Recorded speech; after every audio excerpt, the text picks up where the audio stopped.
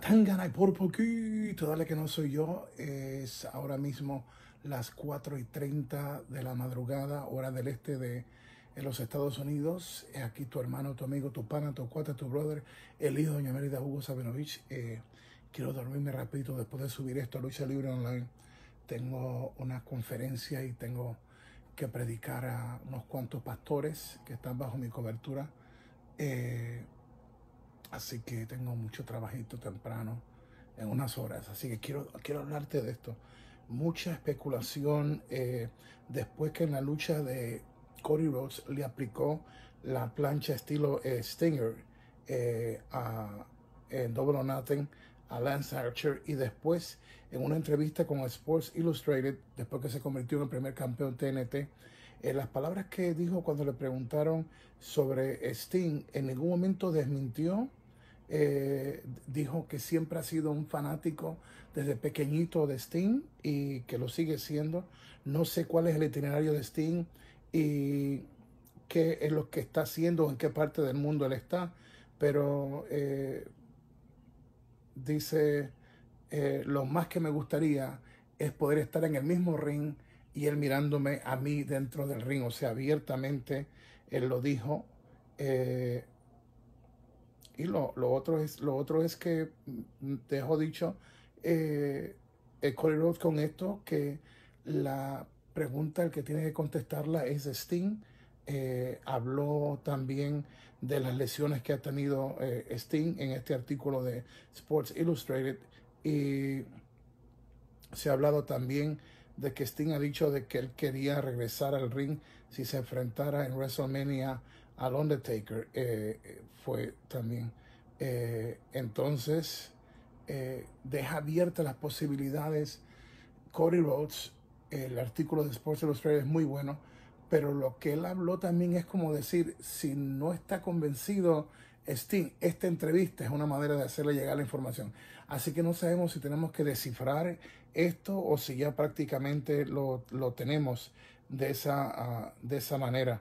Eh, por otra parte, ustedes eh, saben, los que vieron mi Raw Report, que estaba molesto de la manera que solamente tiraron una gráfica diciendo que eh, lo de la parte de la, la, ceremonia de retiro de Rey Misterio, dije, wow, ¿cómo, ¿cómo es esto? ¿Una gráfica sola?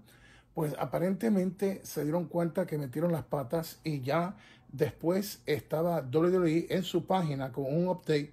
Dice, eh, at WWE Rollins va a ser el anfitrión de la ceremonia de retiro de Rey Misterio la próxima semana en Raw. En otras palabras, adelantaron ya la historia porque eh, eh, la manera que lo hicieron fue horrible y ahora salió en la página de WWE un update. Eh, dice, at WWE Rollins will be the host at Rey Mysterio's retirement ceremony next week on Raw. O sea que en vez de haber aprovechado ese momento cuando traían a Carrillo prisionero y todo para lanzar esto, ya que mencionó el Mesías de los lunes, el hecho de que no se atrevan a hacer algo que no sea en vano el sacrificio de Rey Misterio, ¿por qué de la boca de este eh, hombre, de este hombre de la secta, con sus discípulos y en el momento que tienen prisionero a Carrillo, ¿por qué en ese momento no soltar de que él va a estar en la ceremonia de retiro de Rey Misterio?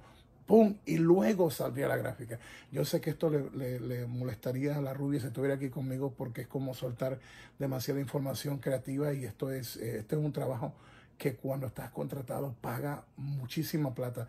Pero he estado tan molesto con el mal booking, la parte mal creativa que ha hecho con Rey Mysterio WWE, eh, que no me importa soltar esa información en este momento, porque es que pienso que la van a regar de nuevo.